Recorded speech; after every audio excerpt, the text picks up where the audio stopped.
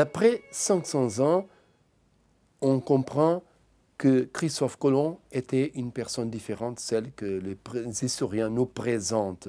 Alors, ce que je fais dans le roman Le secret de Christophe Colomb, c'est une histoire fictionnelle qui démarre avec euh, la mort d'un historien au Brésil et notre héros, Thomas, est embauché par une fondation américaine pour euh, finir euh, la recherche de cet historien. Et pendant qu'il fait son travail, euh, Thomas, il comprend que l'historien a fait une découverte très importante sur les périodes des de, découvertes, des explorations. Et c'est euh, une découverte autour de la vraie identité et mission de Christophe Colomb. Et ici, euh, l'histoire du roman, qui est une histoire fictionnelle, commence à toucher la vérité. Parce que ce que je fais dans le bouquin, c'est il y a une histoire d'amour, une histoire d'aventure policière, mais le mystère là-dedans, c'est pas un mystère qui est sorti de ma imagination, non, c'est un mystère réel. Et c'est le mystère autour de Christophe Colomb, un homme qui a toujours caché sa origine et sa mission. On euh, les historiens nous présentent aujourd'hui un Christophe Colomb qui a découvert l'Amérique, qui était né en Gênes euh, et que, et bien, euh, toute cette histoire qu'on connaît, mais en vérité, la vraie histoire est tout à fait différente. Les, historiens nous ont trompés et je le démontre avec ce bouquin. Il faut dire qu'il y a des historiens qui ont lu le bouquin et on, dit vraiment cette histoire est plus crédible que celle que les, livres d'histoire nous, présentent.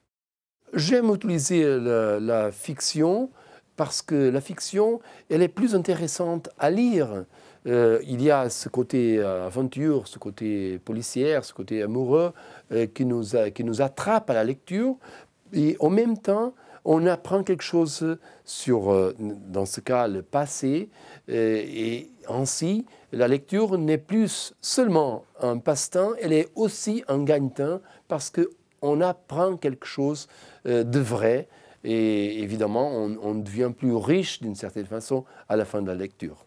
Tous les êtres humains sont intéressés à la vérité. C'est une, une quête que chaque personne a. Nous sommes troublés par la vérité et c'est pourquoi il nous faut travailler euh, ces textes.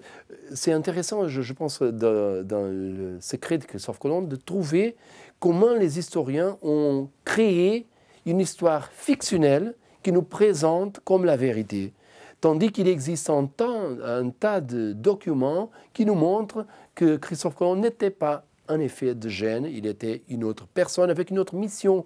Sa mission était une mission de euh, tromper l'Espagne, euh, donner à l'Espagne une fausse Inde, parce que la quête à cette époque était de trouver le chemin pour l'Inde. Il a donné aux Espagnols une fausse Inde pour laisser aux Portugais d'arriver en Inde par le vrai chemin. Alors, euh, Christophe Colomb, il était en réalité un agent double.